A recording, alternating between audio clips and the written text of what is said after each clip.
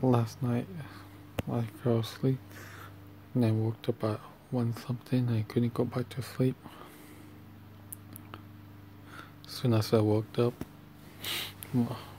1 a.m., I had nothing but negative thoughts. And it kept me up all night. I haven't had as much negative thoughts for, for almost two months now. You know, started when I started eating junk food again. When I say junk food, it's mostly just pizza and uh, snacks. I still stay away from caffeine and other sweets. Back in August to mid September, I was doing so much better because I was eating like solid oatmeal, oranges, bananas, and things like that. I wasn't eating any other junk food at all. I was actually off my bed. I wasn't laying down all day.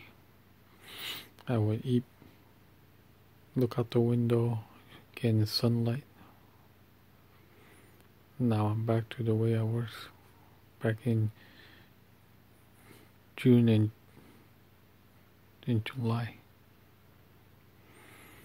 I haven't ate oatmeal since November. I haven't sat by my window for over a month now. And just a little bit over a week ago, I had pizza and I was craving junk food again, and I actually ate some and and it threw me into a panic attack. And since then, my anxiety went back up because just because of what I ate. I I regret it.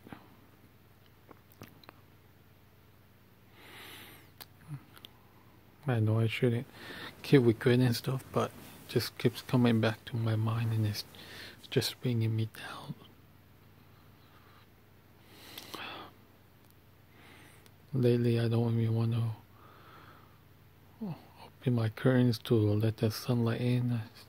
I want to do is like cover my eyes and uh, block my, my eyes from the sun because because I don't I'm starting not want to leave my own bedroom again.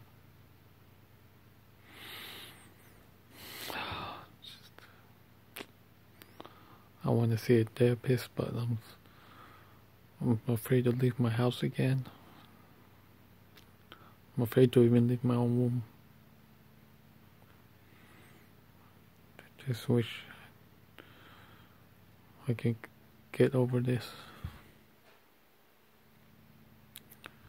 I feel like I took five steps forward and ten steps back, all because of what I ate